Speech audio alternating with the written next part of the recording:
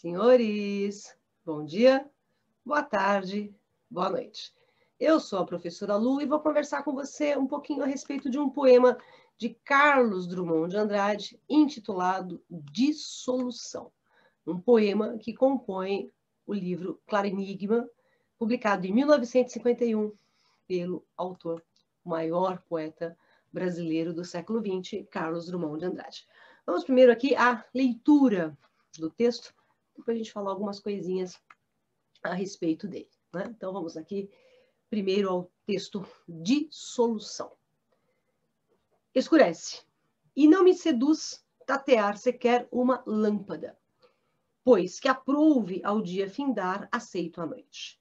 E com ela aceito que brote uma ordem outra de seres e coisas não figuradas, braços cruzados, vazio de quanto amávamos, mais vasto é o céu. Povoações surgem do vácuo. Habito alguma? E nem destaco minha pele na confluente escuridão. Um fim unânime concentra-se e pousa no ar, hesitando.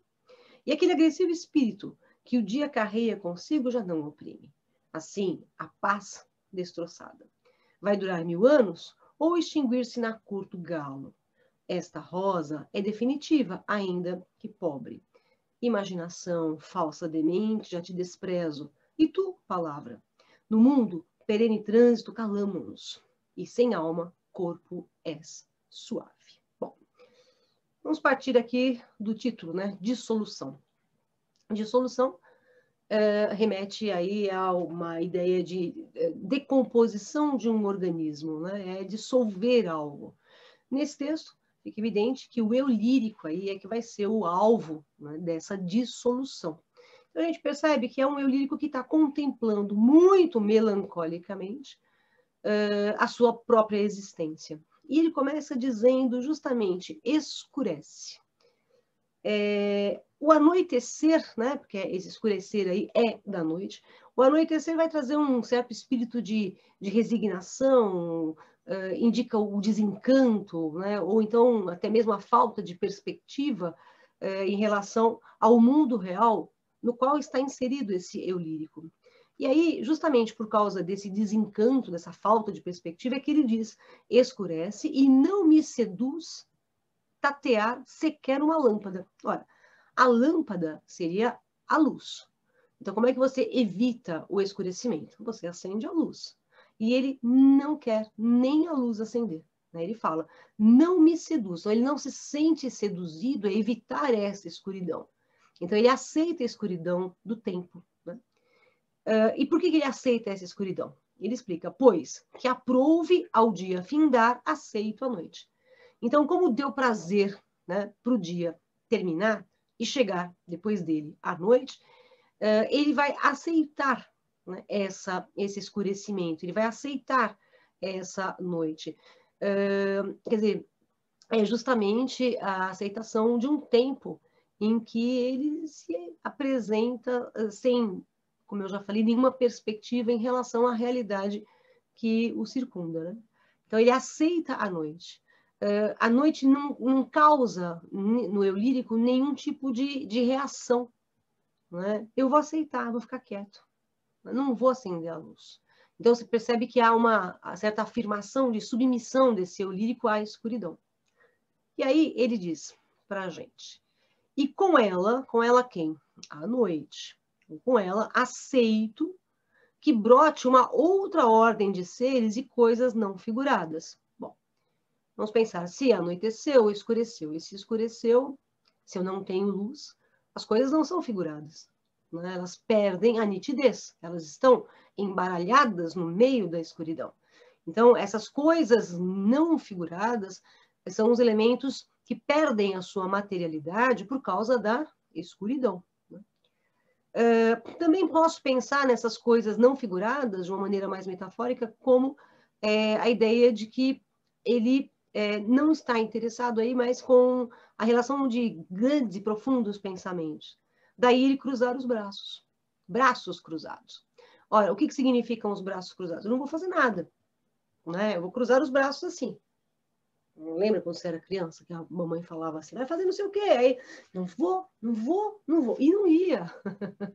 Né? então, isso aí, aí é que você tem esses braços cruzados. Quer dizer, agora, os braços cruzados podem também indicar a imobilidade voluntária ou não, parece mais essa imobilidade voluntária, porque ele disse anteriormente, não me seduz tatear sequer uma lâmpada, então eu não vou acender a luz. Então ele cruza os braços, a gente tem essa imobilidade, essa uh, resignação diante uh, de, de, uma ação né, que pudesse, por exemplo, ultrapassar a noite ou superar a escuridão. Ele não quer superar a escuridão, ele não quer alcançar uh, a luz, né, a gente pode pensar dessa forma. Daí o desencanto e a imobilidade representada pelos braços cruzados. Por que, que ele aceita a noite e não quer mais alcançar a luz? Aí vem a terceira estrofe. Vazio de quanto amávamos, mais vasto é o céu. Então, tudo se esvaziou. Tudo o que ele amava agora é vazio. Se a gente pensar no histórico da poesia do Drummond, a gente sabe muito bem que a poesia do Drummond, do, dos livros uh, Sentimento do Mundo, Rosa do Povo, são poesias uh, de trabalho, de engajamento social, político, né? É, o, o, sentimento do mundo, Drummond foca no sentimento do mundo, principalmente os primeiros anos da Segunda Guerra Mundial e os efeitos né, desses primeiros anos. Já na Rosa do Povo são os últimos anos da, da Segunda Guerra. Então, são obras do Drummond de empenho muito político, muito social, né? poesia de engajamento mesmo. E aqui ele diz o quê? Vazio de quanto amávamos, quer dizer, ele vai abandonar essa poesia revolucionária, que para ele essa poesia se tornou o nada, quer dizer, tudo se esvaziou. Povoações surgem do vácuo. O vácuo é o vazio. E o que surge desse vazio? Povoação, quer dizer, é a, é a povoação dentro de um vazio. Então, como é que eu vou fazer uma poesia de engajamento se tudo é vazio a partir de agora? E aí ele pergunta, né? Uh, habito alguma? Habito alguma o quê? Povoação. E aí você tem uma dúvida. No livro Claro Enigma, a gente percebe que há uma frequência de enigmas. Né? Então, a gente percebe que o, o, há uma ideia aí no título né, de que há uma clareza de que a vida é cheia de enigmas. Ele tem, ele tem clareza disso, né, que o mundo é cheio de questionamentos. E aqui eu já tenho uma. Eu habito alguma dessas povoações? Se essas povoações surgem do vácuo, as povoações são muito, muito bem imaginárias. Né? E pelo desenvolver do texto, ele também não habita nenhuma dessas povoações. E aí ele diz, e nem destaco minha pele da confluente escuridão. É a mesma ideia que a gente lançou anteriormente. Se está tudo escuro, né, eu tenho uma é, ausência de forma. Né? Na escuridão, não se vê a forma. Então, ele não vai ver a pele dele nessa confluente escuridão. Então, ele não se vê por causa da escuridão. Um fim unânime concentra-se e pousa no ar, hesitando, de novo, hesitando, mais uma vez, a dúvida, né? o enigma, tá certo? E aquele agressivo espírito que o dia carrega consigo já não oprime. Olha, esse agressivo espírito é, uma referência aos trabalhos do Drummond de engajamento, né, de lutar contra alguma coisa que lhe fosse insatisfatória. Aqui ele não vai lutar contra a escuridão porque ele não quer, ele aceitou essa escuridão, ele cruzou os braços. Então, parece que ele está cansado né, de, de, de, lutar contra a escuridão. Então, ele desistiu. Né? É bem essa ideia do, do, do livro Claro Enigma, né? Parece que o Drummond se, ele se desencantou em, em, discutir sociedade, política, economia, né? Se desencantou com essa, eh, essa atividade de um homem social e que tem pelo dom da palavra, a possibilidade de questionar o mundo em que vivemos. Então, parece que ele desistiu. Né? Tá aqui, ó. Aquele espírito agressivo, né? ele, ele foi embora, ele desapareceu. Né? Aquele agressivo espírito foi embora. Já não oprime. Né? Assim, a paz destroçada. Então, a luta foi em vão. Tudo que eu fiz resultou em nada. É, vai durar mil anos ou extinguir-se na cor do galo? A cor do galo é no dia seguinte. Então, essa sensação que eu tenho de paz destroçada, ela vai durar quanto tempo? Né? E, de novo, um questionamento. Esta rosa é definitiva ainda que pobre. Bom, e aí ele se refere à rosa. A rosa na poesia do Drummond é, normalmente é vinculada à rosa ou à flor, né? Vamos ampliar a flor, tanto que você tem na rosa do povo uh, a referência rosa, no poema Flor e a Náusea, referência à flor. Inclusive na Flor e a Náusea, a flor é feia, né? mas ela é uma flor que luta, que rompe o asfalto, ilude a polícia. Né?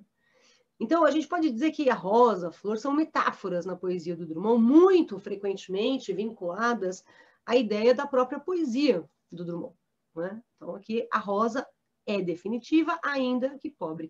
Quer dizer, ele está admitindo a permanência da sua poesia, né? esta poesia, mesmo que não tenha aquele viés tão social como havia anteriormente. Por isso a, a, a pobreza, mas é uma rosa definitiva.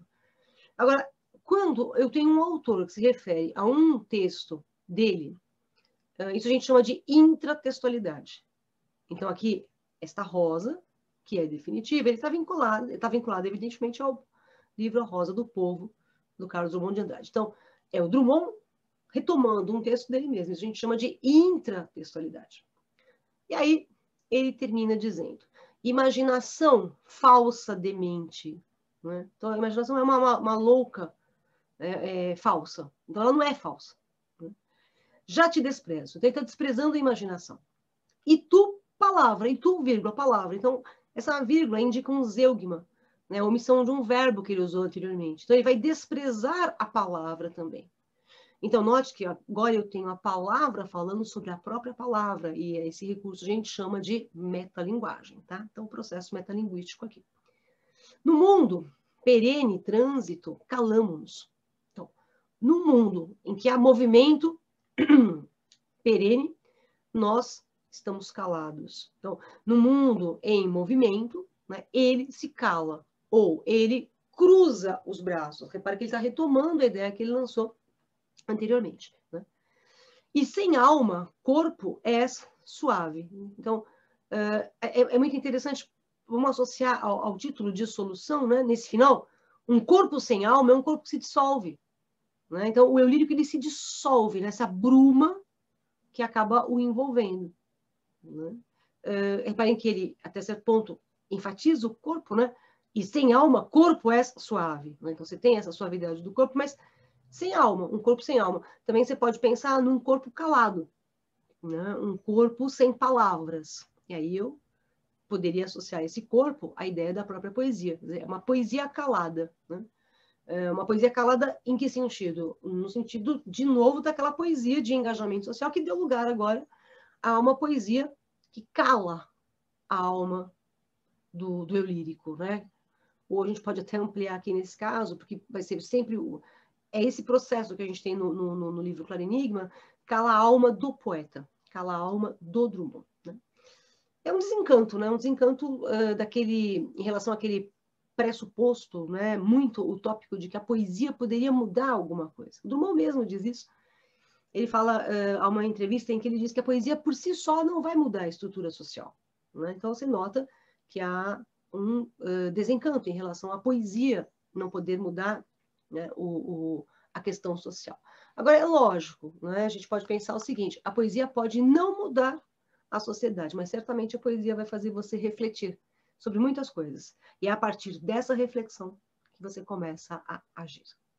Tá bom?